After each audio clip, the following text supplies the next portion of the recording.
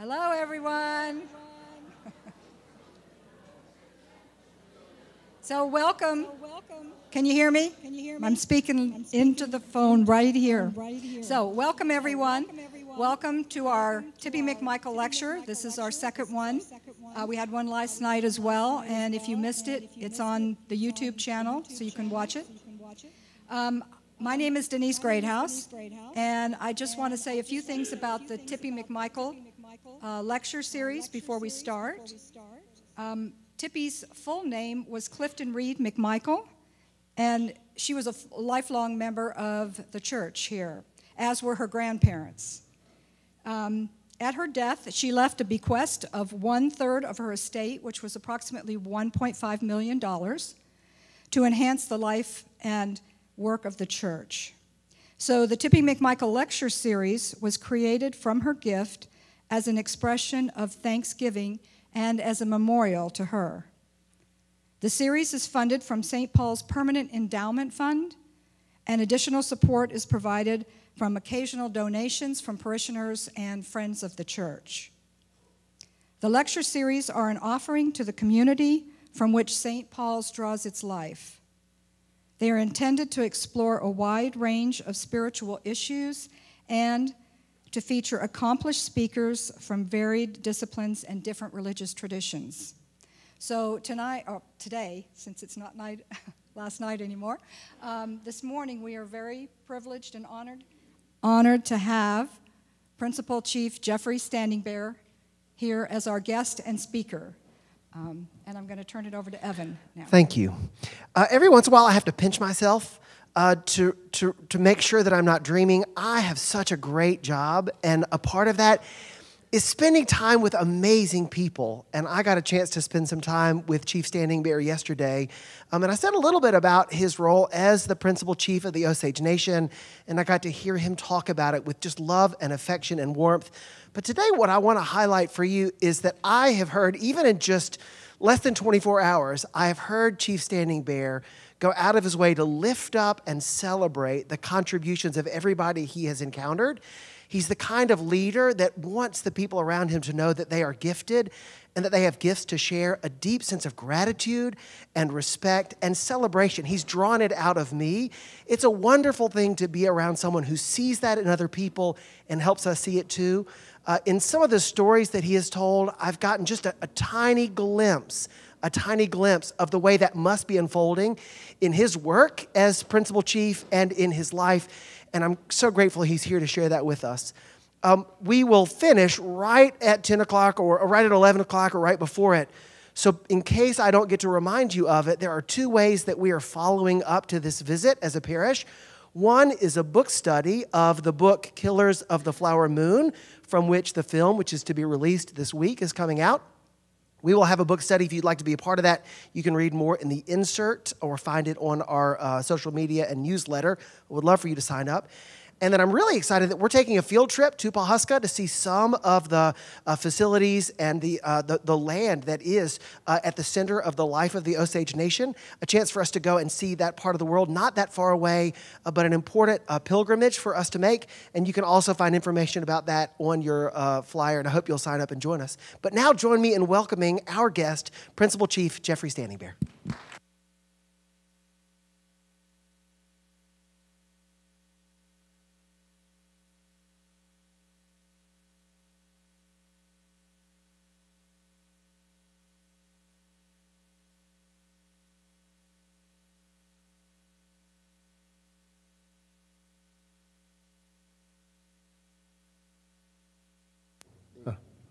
Hello?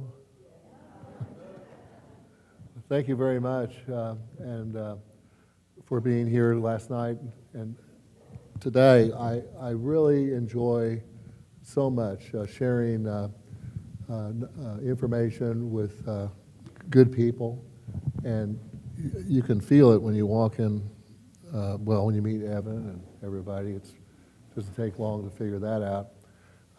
I, I wanted to um, start off, though, with thanking the University of Arkansas uh, for uh, making possible, through their advice and technical assistance, some of our food sovereignty initiatives, and I talked a little bit about that last night about how we're striving for self-sufficiency and how we've learned from uh, his 200 years of history uh, the, the penalties for uh, not being self-sufficient. And we were uh, reminded uh, when we hit struck oil, uh, we, were, we were reminded during the COVID, we were, we're constantly being reminded. And in our quest for food security, uh, we didn't know where to turn at first, we, so we went to the universities, Oklahoma State University, we'd heard University of Arkansas, uh, Kansas State University, and uh, at the University of Arkansas, Dr. Janie Hipp was here. She's now general counsel for USDA nationally. And Dr. Hipp and her team had been preparing food codes. So, because as we've learned, uh, you know, we, we did put together our greenhouses. Uh, we did put together aquaponics farms. We have our meat processing plant. Um, you know, we've done all this, uh, uh, you know, from March 2020 when there were, was no meat, there, you know, there, there no fresh vegetables. And we, we were in a position where we had to do something immediately, no drama allowed. Just go, let's all pitch in, let's work together. And the food codes are essential if you're going to put uh, food into commerce. Because once you put food into commerce, there are a lot of requirements. And the legal system, the regulatory system, was just not set up to handle the COVID or the pandemic either. So uh, we could uh, we could go through Dr. Hipp and her team's work, work here at Arkansas and all these sample codes from tribes throughout the United States and recommended laws, take them to our legislatures and uh, work them to fit our uh, formats and talk to our natural resource people, uh, people that are uh, producing food for us and say, is this, is this your area? And if it is, how would you fix it? And within a year, we were able to handle all of that, and, and we were in production in eight months for our meat processing. And as I mentioned last night, now we can do uh, uh, 60, 80 head a, a month of uh, our, our, cattle or, or bison. Uh, and that's one shift. Um, so, uh, and then in our um, greenhouses, all that's going in because we're feeding children uh, that there's also federal program money at work and once you uh, accept the federal dollar, any other money you bring in to that program has to also match those requirements. So finding uh, people who understand that process, I'm so proud of everybody that's put it together, made it happen. Uh, they don't need guidance. They realized um, that uh, they know what to do. And it's, it's not true that if when you're elected, uh, some uh, ray beam comes down, and all of a sudden, all of a sudden, you're an architect, you're, you're, you're a rocket scientist, you're a lawyer, engineer, and they, they realize that as well. And we, so we weren't kidding. You're, you're the experts. We want you to take over, and our job is to support you. And, and they, they are doing that. Um, now, a lot of others are watching. We're in a, we're in a zone right now where uh, those who are going to grab the, the, the, present and go forward are becoming more and more obvious. Those who are not are becoming more and more obvious. And I want to encourage everybody to pull each other up, work together, because you're going to be around with each other, God willing, for a while. So, uh, so I wanted to thank uh, University of Arkansas for that important contribution. Other tribes now have learned about it. Um, and we all have her, her book, and they're, they're still working on it. So that was an essential part of our uh, growth and our uh, quest for survival uh, into the future is the work that was done here. So now let me say uh, uh, my name is uh, Jinga Kahika, child chief of the Wasapeta Bear Clan of the Osage. And uh, as I was talking with my new friends over here, uh, we've gone through a lot of transition. Uh, my uncle Ed Red Eagle, who uh, studies uh, the histories of, from Missouri and, and northern Arkansas uh, and uh, eastern Kansas and Oklahoma, where we lived for hundreds of years, has talked to anthropologists, has talked to historians, and his best estimate is that uh, at the time of contact with uh, uh, before Lewis and Clark, there were 200,000 of us, but because of um, the resistance to disease just did not exist. We did not have a lot of these diseases. Smallpox, as we all know, was the worst. And our populations dropped into, according to the uh, rolls of the federal government and the Jesuit priests, uh, in, in, by 1890, well, the Jesuits were with us till about 1872. Um, and then they were told to stay in Kansas, don't follow the Osages. Guys are helping them too much, write treaties, stuff like that. True, true. They were, they were helping us. And uh, so then they shifted us over to Dyson, uh, Dyson uh, Priest anyway. So uh, by, by 1890, we were down to 1,500 uh, people.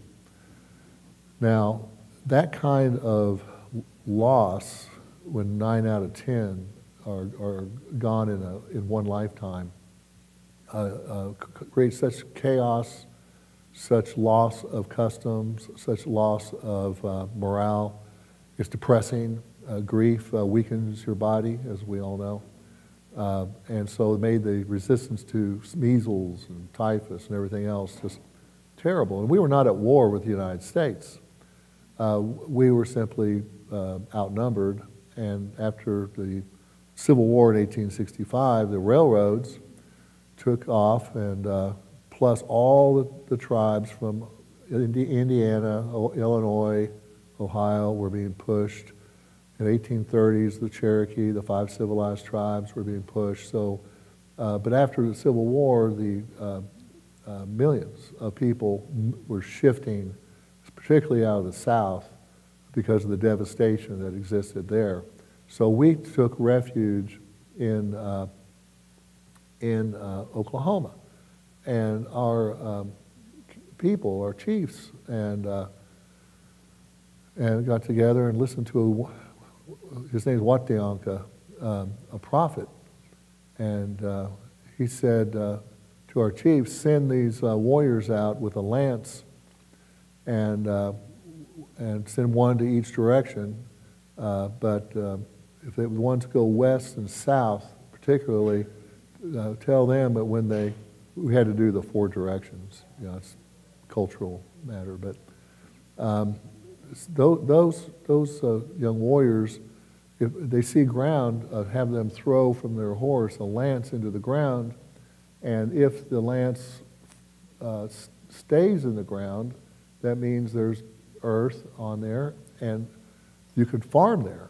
So they say, pull up your lance and keep moving on, because we don't want to to go and, uh, where the white man will want to farm. And so that was the test. And so they found Osage County very rocky soil, and the lances would not stay and they would fall. And so they reported back, and the, the, the uh, chiefs and the council, they said, okay, that's where we're going to go. And so no one will follow us. And uh, then we struck oil.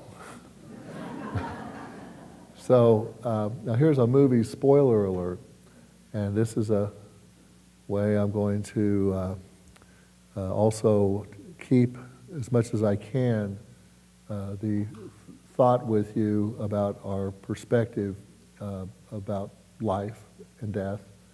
Uh, but when we did strike oil, it brought a lot of people but right before that, around 1900, 1910, and this movie it takes place in 1921, as those who read the book uh, know about this. But around 1900, uh, our um, elders, our ceremonial leaders, our priests, uh, and the people uh, said, we've got to uh, grab hold of what we can keep because we've lost so much. It, we don't even know what we've lost. But we do know a lot of our ceremonies, um, large and small, cannot be completed because the people of those clans, those 24 clans, those clans are extinct. They're gone. So um, I know the last one, uh, major one, was in 1910 in Gray Horse, the community. And they called that the creation story, uh, where how, how we come to be. And they went from clan priest to clan priest to clan priest. And then there was no one in the, that seat for that clan. It was gone and gone and gone. And you can't tell the story without the complete story. And so uh, within this ceremonial structure, uh, which is highly centralized, and it was organized to sky people and earth people. And so, uh, like I'm a, I'm a bear clan, so I'm on the earth side, the Hunka side. Um, and then on the um, side of the sky people, we have uh, thunder people, the elder star people, and, and then if, you know, and so forth. And then as it gets into more details, you get into um, over the star, elder star people, the sun carrier people. Their area is that, uh, call it uh, the, you know, the motion, the movement of the stars and the moon, the sun. Call it gravity, call it what you want. Uh, that is um, their area. That's their job. You know, Bear Clan, we had our job, and everybody in there are.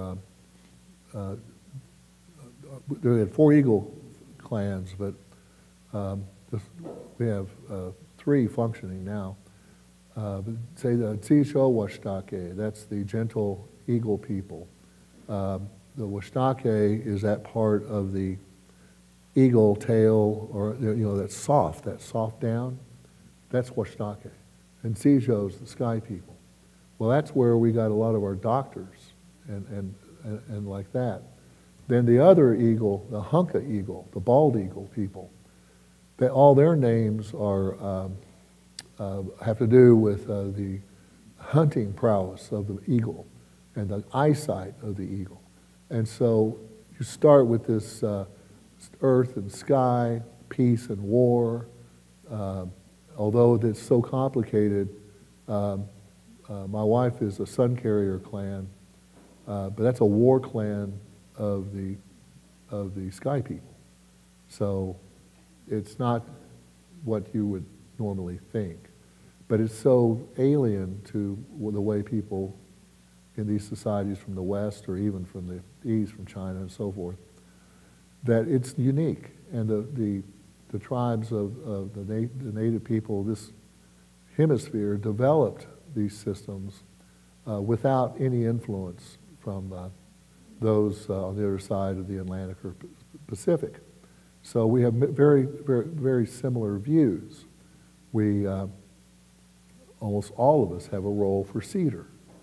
Um, and um, I, I, can tell you that um, in our sweat lodges and in our other ceremonies, um, when, we, when, if you, when you're buried, uh, those ceremonies we kept, even though we have knowledge of the others, we don't use them. Because as I said last night, half our people don't even live in Oklahoma. They're scattered. And, and then, you know, I've met Osages that write uh, beautiful poems about, uh, about where I live. And uh, they haven't been, well, first of all, I said, Did, have they ever been here?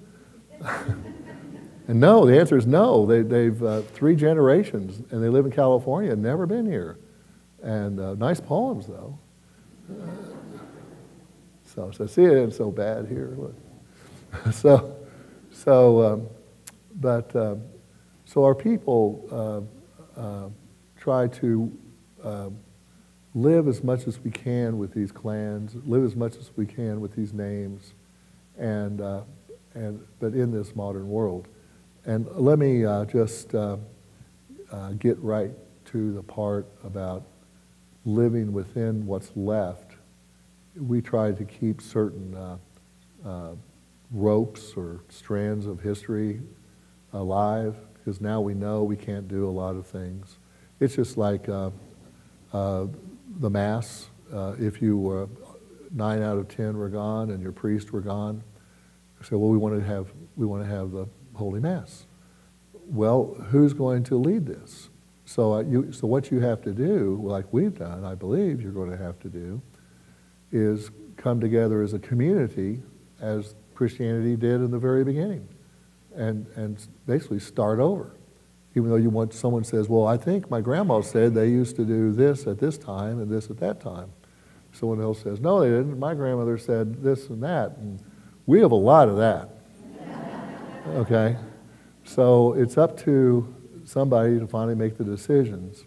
So instead of seven rites on the, on the funeral, we've reduced it to four and uh, that are manageable, that people, that didn't put obligations on people to have further ceremonies afterwards or go into mourning for a full year uh, where you can't go to the movies, can't go, you can go to the grocery store and back and you can't have friends over, nothing like that. It's, it's a whole protocol.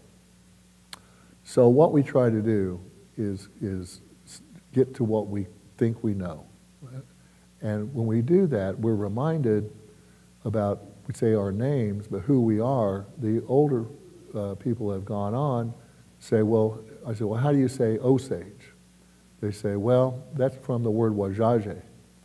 And the uh, wajaje is uh, uh, when the uh, French uh, said that, uh, the English took that and that O-U-Z, the way the French wrote it, and it looked like Osage. So, so uh, but actually, uh, the Wajaje is what the French called us because a, a priest named Marquette, Father Marquette, uh, ran into us up on the Missouri River and asked one of our clans and Wajaje means name givers, by the way. That's maybe it's not a coincidence, right? Probably not. Um, said, um, "Who are you?" They said, "Wajaje." That's the clan. Uh, so th- we call ourselves Wajaje to this day. But our religious leaders said, said, "Really, we're Nika Shinka." I said, "Nika is a, a person." and uh, Jinka is little. So we're little, we're little people, little people. No, no, there you go, thinking like a white man again. That's what they used to tell me, those old full bloods. And they, they say it just, uh, you know, realize you got to change our thinking here to the way they think. So that Nikashi, that's a, a humble person. We're humble people. We try to be humble. And that opens the door when you start listening to them about what does that mean. And then they would always pray and they'd say, uh, we're uh, pitiful. We're pitiful people. And this was a common theme every single day and night. Uh, the uh, Osage people would, would say, those that would follow that path, one of those strands we have left, would say, we're Nikajinka. We're, we're, we're so small in the universe, so small in the minds of, of, of, of everyone that we're, we're pitiful. We're pitiful because we're human. That's our condition. So we have to turn to prayer to help us. That was the constant message that we heard uh, growing up until those people, and to this day, are surviving. Uh, new, they were a young generation once, but now they're the elders, and uh, they're teaching that. And some, some of this, uh, these younger folks are coming right up. And part of that, learning what that means, is um, um, you can see uh, in some of the writings of the 1820s, 1830s, uh, there's a book, Tixier's uh, Journey on the Plains, where he, Osages are in there. the Jesuit order since St. Louis University was founded for Osages, um, and a lot of Osage connections there. We were a lot more of us at that time. Um, as we moved west, uh, they uh, uh, commented on how in the morning the Osage, the whole village would come out and greet the sun. And uh, I, I saw that myself. I saw that in ceremonies, but I saw it when my father passed. And my grandmother, who lived with us, that was her son, and uh, every morning she would uh, start with a morning star and then go with the sun and just mourn and cry. Um, and our people say, uh, uh, the gates of heaven are open. They say uh, four times a day. They say at sunrise, at noon, sunset, midnight. So that's why you see us uh, sometimes ceremonies at midnight. We'll, we'll make tobacco, we'll make smoke, we'll do prayer. Uh, sunrise uh, ceremonies, we'll use cedar. And the, the old folks say cedar, they say that takes care of the unseen elements of your being grief, stress, like that. That's how they would say that. But you got to put prayer in it because cedar doesn't really know uh, itself. And, and you got to, if it's going to carry your petitions to heaven, you got to put your prayer in it. And then they'd always say, the, the way we know if you're sincere is if you're crying about it, if it makes you cry. That, that's the level that they would go to.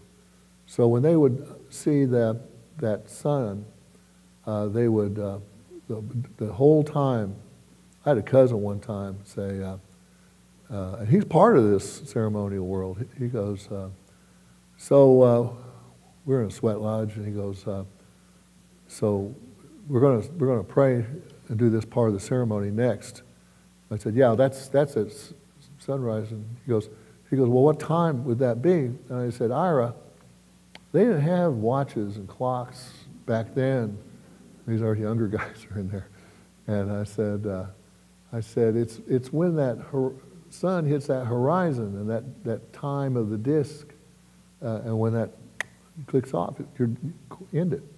And, and then, and don't try to, you know, and you gotta, there's a lot of teachings in there. They always say, uh, don't put yourself into this ceremony. You just put it in order, start it up like a, clock watch, everything kind of moves, and get out of the way. Because uh, you put yourself in it, you're going to mess it up. Because these uh, sweat lodge uh, heat in there is dangerous. So don't be, someone comes along here and said, I'm Mr. Indian Medicine Man. You'll see that. Uh, I have a sweat lodge somewhere out in the country. There's a lot of charlatans out there. You better check out who it is because you can hurt people that way. So I run sweat for uh, my families for 20 some years. And, and so I got, had good training. And those, those people the older people, when they train you, they're strict about it. And uh, for example, we got to use flint. And, uh, and they said, I said, what if we didn't use flint? They said, well, we'll tell you what happens. These old, old, old men, old men come out there, they can tell whether you use flint or not. Uh, they just have that gift. So you will see um, when you uh, read and study, some of you anthropologists and others out here, about the Osage, you'll see a lot of these highlights. But I want to emphasize that when you see and read about it, or you hear about it, and how we always turn to the sun, to uh, grandfather, we call him grandfather, we're not praying to the sun. And that really irks me and others when they say, oh, the Osages are talking to their God, the sun. That's not how we look at this we, we look at the sun and the moon and the stars as, and the earth and the cedar and all these elements as God's staff, as they say. This is God's staff. And they say, you're too small to talk to God directly because you don't understand what that means. You know, that's Wakanta. See, it's uh, everything. You're too small. So you have to go to those persons, that God's staff, and those, especially those great persons. That grandfather's sun was created before any of us, and God created that sun first. So you go, that sun talks to God. So you go talk to your grandfather and put your petitions up to grandfather and ask grandfather, if you could hear the translations, they're saying, grandfather, take, take our prayers to God. So, so when you see them praying and blessing themselves, they're not, they're not saying that sun, well, it's God. It depends what you, how you want to t- get into this. There's a philosopher at one of these tables over here. I was talking to him there where we went. And uh, uh, it, it's not, it's not uh, Wakan and the Lakotas have the same language, the Sioux. The, Wakan is something sacred. So that tree is uh, Wakan, sacred. Um, and then you go to, uh, to, uh, to you.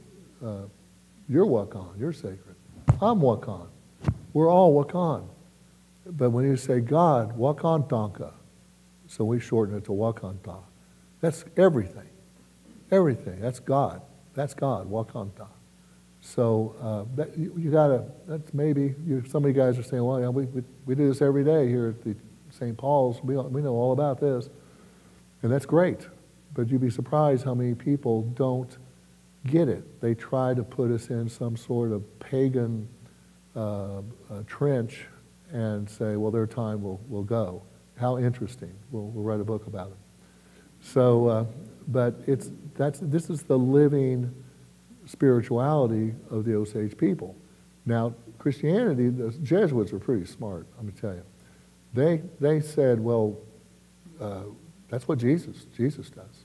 Uh, Jesus uh, will uh, take your prayers to God. And, and they fell right into that. So when you see the Jesuit orders uh, work, uh, there's, not, there's hardly any inconsistencies.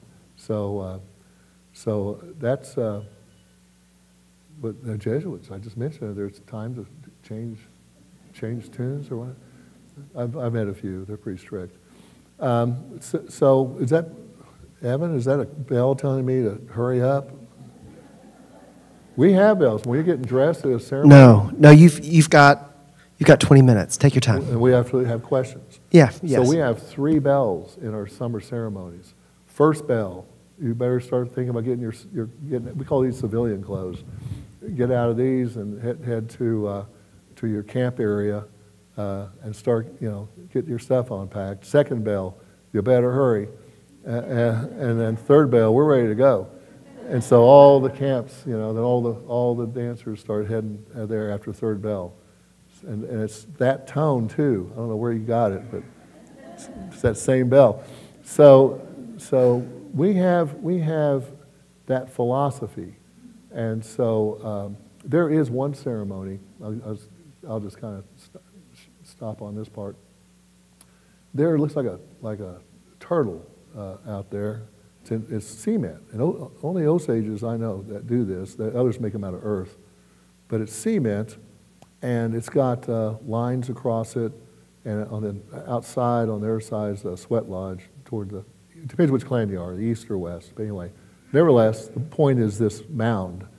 And this mound, uh, they say, uh, represents all knowledge and that you can learn. So if you knew what everybody in here was thinking and doing, what they're going to do, what they, if you knew what every person on earth, they would explain it. I'm shortening it here, but if you knew what every insect on this planet was doing, and if you knew about the stars and the moon and you understood the movements of everything. And you knew how to do everything, and you knew all about how it got there. You would know half of what there is to know. And that's that mound. You would know the whole mound. But it's not a mound, it's a globe. And you can't see underneath. And the only way you're going to know anything there is after you get on the other side of the sun, after you die. So, so that's the philosophy no matter how much you try to learn and know, and they encourage you, you're never going to know everything. So to know the mind of God, they, people, is just, just a bridge too far and far and far. And I've seen the people talk to the grandfather fire. They, uh, they call it Betse. They call the grandfather fire. And, and they, they contract that from the sun to the sweat lodge, you know, to the sacred fire that some of our ceremonies they put together. And so when you're little, uh, they, uh, the old, timers, you'll see some of us still do it. They'll, uh, some of them pick up the eagle feather and, you know, a lot of people don't like that because that shouldn't do that. But people do. it. Other tribes have influence. That's how they do it. But Osage, you touch the forehead to uh, get the good thoughts that person had in their life. And then you go touch, touch their hands to get all the good, good feelings, all the work and all that part. And then you, you, you, you tr- touch their heart for all the good feelings. So you can do that how you will do it. I personally just do it left to right. That's just me. And then you bless yourself. And, uh, and they, they follow that. Um, and uh, that's big stuff. Um, so uh, anyway, uh, it's, um, it's a way of life we're trying to keep. And within that way of life, we are trying to understand how to treat each other better. And uh, we have, when we, we put people in the ground, uh, we are now, I was talking to a table over there about our struggles with um, cremation, how we uh, conduct these ceremonies. But I had some really good advice over there about how to view cremation as just another way of going into the ground. And so why don't we do this one ceremony before we do the cremation? And I'm going to go talk to Mogri Lookout Eddie Red Eagle and some others about that because to us that's kind of a new phenomena. And uh, I mean, how do you, because the, the four rites we, we've kept are the simple ones. Put a, put a blanket around or shawl around the, the person, put an eagle feather in there, uh, and then, uh, then we use cedar before we go eat, and then we have the meal. And oh, by the way, um, on point with the movie a little bit, uh, we used to put a lot more than one feather, but we got to put that feather in. But we used to put uh, their finest jewelry and others. But as the movie will show you, uh, people were breaking into our graves and robbing us.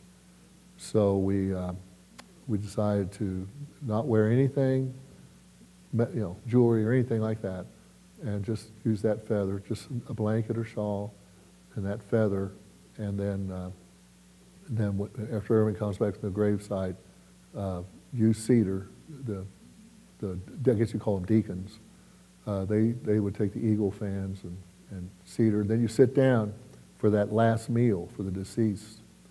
And then the three that we've set aside, uh, for the most part, is uh, the paint that we do the, the last day of sunrise.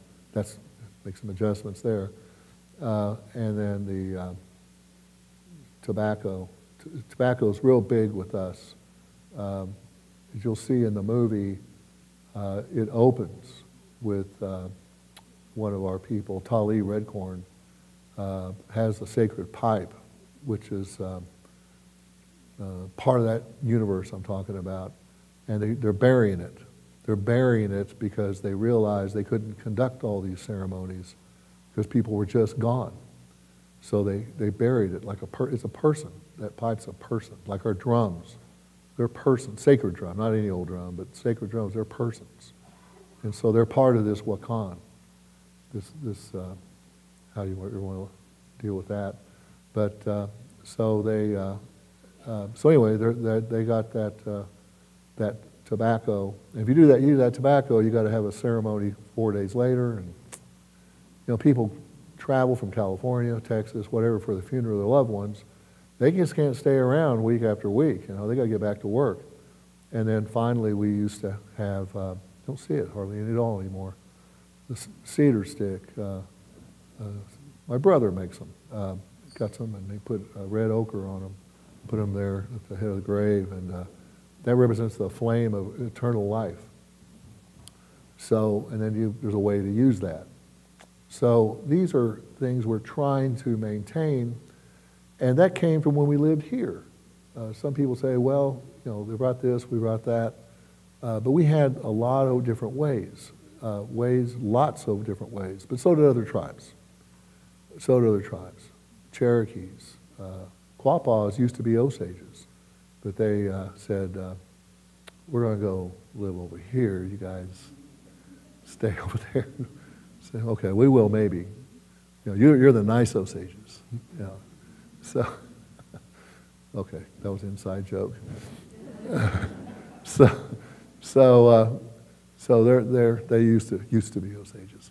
So um, anyway, um, what we're trying to do is find the balance. And, and what, where we come up short is in education, uh, financial uh, literacy, as you may call it. Can you imagine uh, people 1920s having the cash equivalent of today's money of over $400,000 each, um, tax-free? Uh, that's a family of four, 1.6 million a year. Um, um, having that kind of money, uh, but not understanding what currency is, uh, and then having the federal government uh, appoint trusted lawyers and former judges and businessmen as your guardian. And as David Grann points out in his book, he knew he was on a story when he see the guardians and the list of wards they have is uh, it says uh, people in the prime of life strike them out as dead, dead, dead, dead. It's just impossible for that many. The book and the movie are about one the most notorious murder ring over there in Gray Horse community, but they were throughout our people. And uh, it happened for a long time. My personal family did not have uh, anyone um, uh, murdered in my direct line. Some relatives, yes, but not direct line. My grandfather, uh, in the movie, Arthur Bonnicastle was serving a term as principal chief. My grandfather, Fred Lookout, did a lot of uh, time in, as chief during that time period. My grandmother, Mary Lookout, was his um, translator. And she, she told, I asked her, I mean, we didn't like talking about this horrible time, uh, and she didn't like to talk about it either. But I said, uh, why, how, why did uh, you all get spared? You, know, you were in your 20s, Grandma, at the time. She goes, well, my father had uh, uh, bodyguards from Chicago, and they were outlaws. And, and one of them, they're good-looking men, she said. so they come in there, and after they made the, the business deal, my grandma translated it, uh, she goes, that man, and, and, my, my thinking, it was probably a young John Dillinger, uh, said, don't you worry, Chief. Uh, once uh, all these outlaws around here find out that me and my boys are your bodyguards, you're going to have no problems. And we never had a problem. But that was the state of the world. When you had to go hire known killers and outlaws, and you hire them as your protection because the police and the system. As David says in his book, um, it was not uh, who was complicit, it who wasn't complicit. Now, to this day, the apparatus that has uh, set all that up to a great extent still exists. Uh, uh, you have to be a lineal heir now. 1978 took that long to uh, inherit an Osage head right. To this day, um, a fourth of the head rights are no longer uh, owned by tribal members. They're owned by others, and um, that's another story. And uh, of my 25,000, almost 25,000 Osage people, only 6,000 have any share of the oil and gas. The rest have nothing. So um, we have uh, those financial issues among my people, but there are so many oil companies I can point out to you that multinationals that started there in the Osage, and uh, uh, we just weren't prepared. And we trusted the, the federal government. That was a big, big mistake. So uh, we have to learn how to be self-sufficient, have to educate ourselves. Half my people don't live in Oklahoma. Other people live in Oklahoma City, Tulsa. We've got to try to create a world through use of uh, developing internet, developing housing, uh, uh, security, health, all those issues that all communities face. Uh, we, we, have to, we are approaching these with urgency because we know what it's like to be taken advantage of. And uh, even then, when you're prepared, items like the pandemic, we didn't expect to get hit by smallpox. We didn't expect nine out of 10 in one lifetime would be gone. So we've, we've made it, and we're, we're grateful for it. We're grateful that we had at least some of these advantages other tribes didn't. But with the advantages come the terror of, of the 1920s and 30s that you are reading about and that you will uh, see in the movie. Martin Scorsese gave us an opportunity to tell our story. It wasn't a Hollywood story. It's a true story, but it's not a cop story. It's a story about people. And that's what Martin Scorsese does. He takes the book, and, which is a great book and great research, and he, he makes it full of people. And, and as, as he says, it's a story about trust and betrayal on two levels. That's why I asked him, I said, how are you going to approach this movie? He says, it's a story about the trust that a, a woman had in a man from the outside world and the horrible betrayal because he was murdering uh, all her family and he was giving her poison and they had children. And then it was about the trust the Osage people had with the outside world. And I'm going to show about the development of that trust and the, the horrible uh, betrayal of that trust. And he does that. Uh, and I uh, really welcome your interest, but I do want to let you know um, we have our ways. And uh, as my senior advisor, the late Johnny Williams, said when I said, Johnny, um, you go down and you sit with these people uh, when they're making the movie every day. That'll be your job. They, they come in there, they turned our streets to uh, dirt streets, and they created that world. And they're just wonderful people to work with. We're, and all my Osage people are working behind the scenes on clothing and everything else. And the language, Robert De Niro really, man, the guy's got it down. Uh, but so, so, so uh, does Leonardo DiCaprio and Lily Gladstone. Uh, uh she uh, is Native American, not Osage. She was telling us she went to four months of, of my language people of crash courses, immersion. She's really good. So uh, this story had to be told, but it's our story being told. And our people are, are in front of the camera with extras, and we're behind the camera too, uh, learning from the world's greatest people. And they're nice, good people, just like you folks. So, any questions? Thank you. We've got time for one or two questions.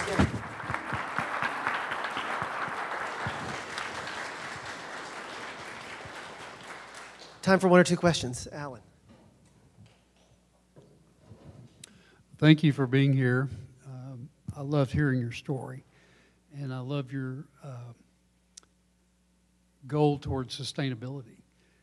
Can you talk a little bit about how you're trying to preserve your culture with the young? Well, our, our people say to know these ways, you have to uh, practice them. And so we, we all have uh, children, grandchildren, that they're, they're busy and they say, hey, we want to learn something like that. Would you record something for an hour? And I was just like, you know, that's just, that's not, that just doesn't work. To, to know these ways, you must do them. And, and so we're encouraging our people to participate. And, and that, that happens. And so uh, that's how we're doing it. We're just getting our people to just participate. Uh, so uh, there's some ceremonies that are not going to get a lot of participation. This one sweat lodge, we have two different kinds. But the one where you, you use flint in the morning and, and you uh, cre create this uh, vortex of wind and heat and limestone rocks for two and a half hours, and you get in there and bring them in there and you sweat and you do pr uh, prayers and all that. Well, you also drink uh, poison. And it's a mild poison, but you have to know how to allocate it and uh, it causes uh, a reaction, which was counted on because we drink water and all that.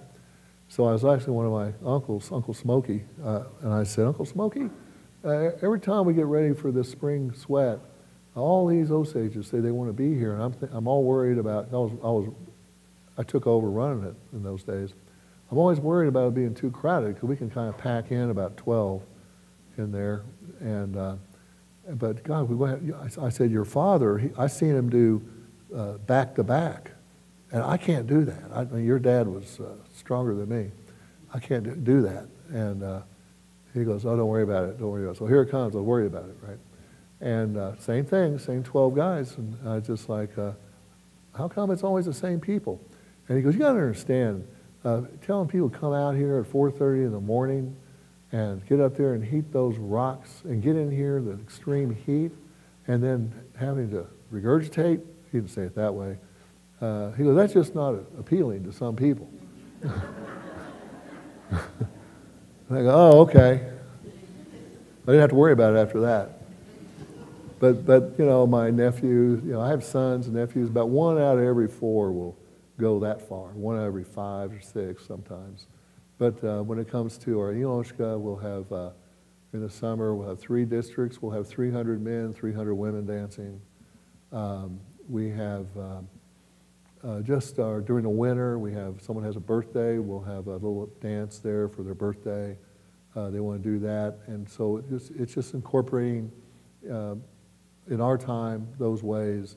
First thing I did, though, when I was chief 10 years ago, was put uh, any of this, we have small casinos, we're rural, but we, we take that money and we rebuilt our three arbors and community centers and our chapels. So now uh, you'll see, it took, took 10 years to complete that, those projects. You'll see brand new, large, huge dance arbors.